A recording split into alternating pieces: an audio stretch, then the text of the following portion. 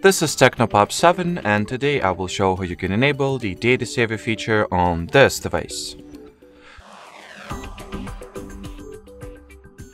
So first and foremost, you will need to find and launch the Phone Master app. That is the pre-built, pre-installed application that you'll get with your system with any TECNO smartphone, uh, practically, unless it has the clean Android um, firmware which I'm not sure if any TECNO device has, but anyway.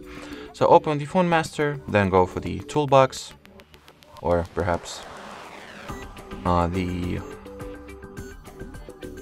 Give me a sec. Yep, so just disregard, just open the home page, find the Network Assistant category of options, and then go for the data saving mode.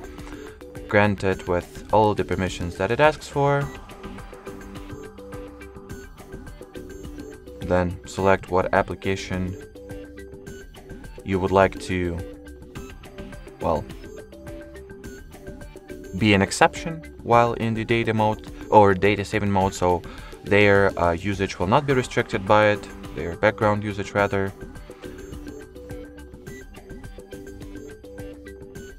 And as you can see, these data saving mode was successfully enabled. Now in order to turn it off, just open its page again and tap at the turn off button. So that'll be it for this video. Thanks for watching and bye bye.